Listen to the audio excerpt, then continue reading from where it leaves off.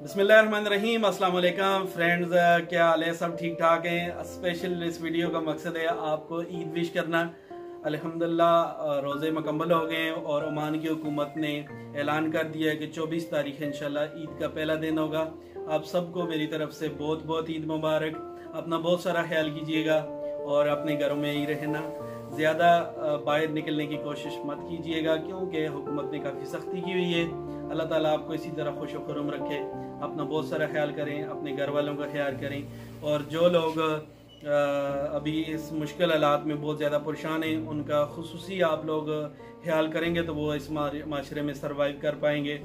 अभी अल्लाह अल्लाह की तरफ़ से बेहतरीन हुक्म है फितराने का हुक्म है तो आप ईद की नमाज़ से पहले पहले जितना आप पे हक बनता है, वो फितराना आप अदा करें, ताकि आपके रोज़ों में जो भी कोई कमी पेशी रह गई हो, अल्लाह ताला उसकी उसको माफ़ करे और आपकी इबादत कबूल हो और दूसरों की भी मदद हो सके।